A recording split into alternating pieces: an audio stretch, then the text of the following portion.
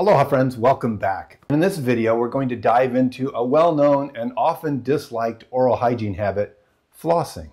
We find that there's a lot of misunderstanding and misinformation and cultural baggage really associated with flossing. The way we see it, flossing has gotten a really bad rap. Both mainstream media and the alternative blogger media have recently thrown flossing under the bus, stating, quote, flossing doesn't do what we've always been told it did, end quote.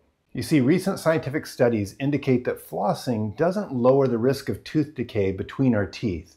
And unfortunately, the media jumped on this and spun it into a story that led to the culture believing and questioning whether flossing is really beneficial or not. So, why do we floss?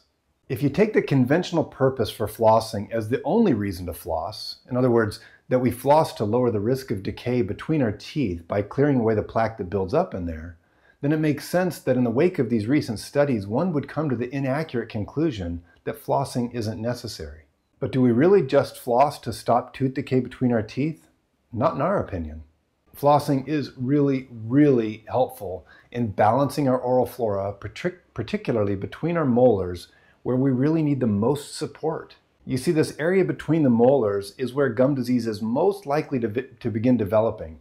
So, this is where we want to be especially careful to keep the biofilms thin and the thug bugs in check. However, as you know, it's really difficult to accomplish this between the molars with a toothbrush.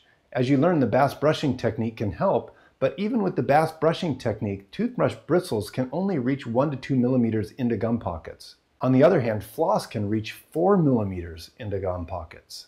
Again, from our view, the main reason why we floss is to thin biofilms and disrupt and disorganize the thug bugs implicated with gum disease, especially between our molars. So while new research suggests that flossing doesn't help reduce tooth decay between our molars, we still find flossing to be a very healthy oral hygiene habit, provide you floss correctly. So that wraps up this video on why flossing is such an important oral hygiene habit.